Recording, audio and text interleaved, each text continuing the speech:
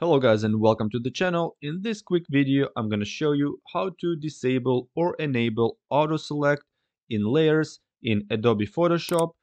When you're working in Photoshop and you have multiple layers, sometimes it's very good to have auto select enabled. For example, as you can see when I'm clicking on the arrow, it selects this layer here. If I click it here, it selects the layer here. If I click it here, it selects the layer here.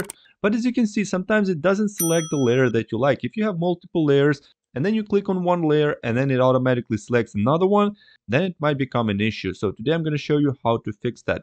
And it is fixed really easy. If you go to the upper options panel for the move tool, as you can see here, there's a little check mark at the top says auto select.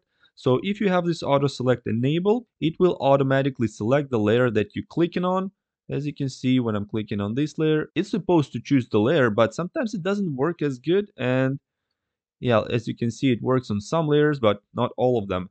And for example, I have this layer here, which is supposed to be this layer over here, but somehow when I press on it, it selects the layer with curves, which is going to be not the one that I want. For example, I want to copy this layer, but I don't want to be copying this curves layer and when I click on it, it will automatically select this layer and not this one. But anyway, if you want to disable it, you just uncheck this mark here and now the auto select is disabled. So now when you click on the picture, it doesn't select anything. So you have to actually manually select what you need. And now when you select it, you can go ahead and move it as you can see.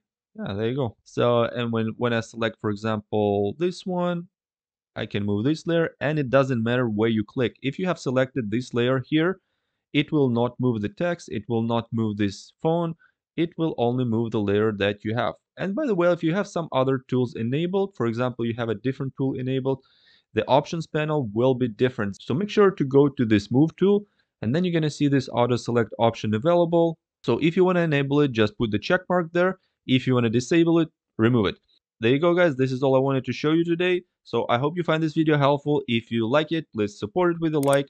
If you're new to the channel please take a second to click the subscribe button and hit the notification bell so you don't miss new videos. If you got any questions comments drop them down in the comment section below. I'll try to help you if i can but this is it for now. I hope you have a nice day. See you soon. Bye bye